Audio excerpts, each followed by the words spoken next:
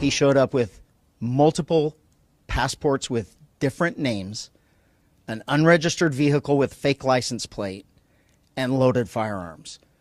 I, I, if you're asking me right now, I probably did have deputies that prevented the third assassination attempt.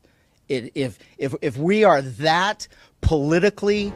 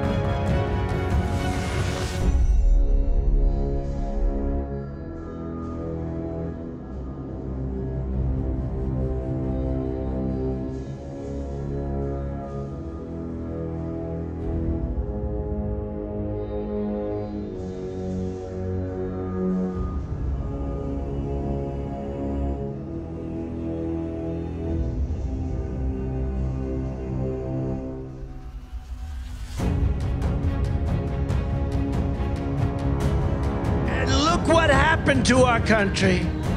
Probably 20 million people. And you know, that's a little bit old, that chart. That chart's a couple of months old. And if you uh, want to really see something that said, take a look at what happened.